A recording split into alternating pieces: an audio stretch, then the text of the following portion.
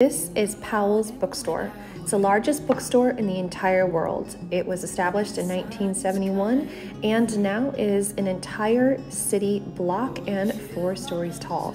It holds over a million books and employs 500 book attendants. This is a place you're going to want to spend a lot of time. So if you're coming for books, gowns, and crowns, be sure to allot a little bit of extra perusing time to find the book you never knew you always needed. Enjoy Portland!